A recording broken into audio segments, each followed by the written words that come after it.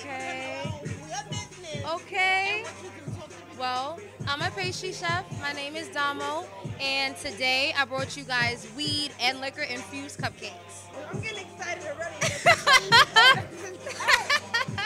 oh, in that order.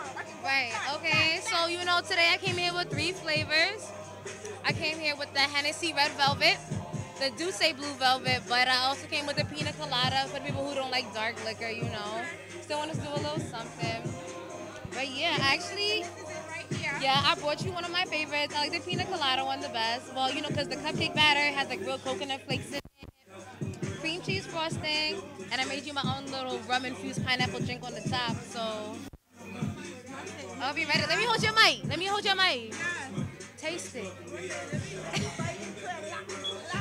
Go ahead.